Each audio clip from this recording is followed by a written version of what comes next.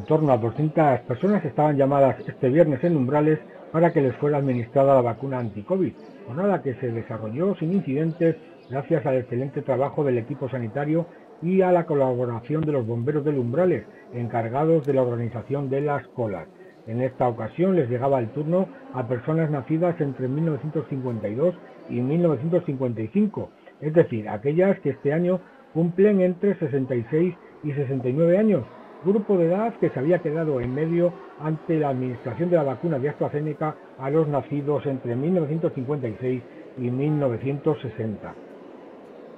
Este nuevo grupo de edad de entre 66 y 69 años recibió la vacuna de Janssen, fórmula que se inocula por primera vez en los municipios de la zona básica de salud de Umbrales, área comprendida por las localidades de Aigal de los Aceiteros, Bañovares, Bermellar, Cerralbo, La Fregeneda, Fuenteliante, Hinojosa de Duero, Lumbrales, Olmedo de Camaces, La Redonda, San Felices de los Gallegos y Sobradillo.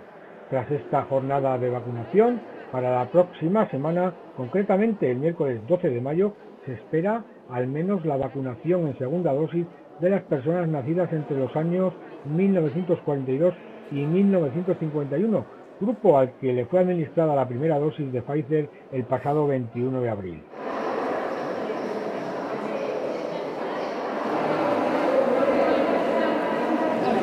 That's okay.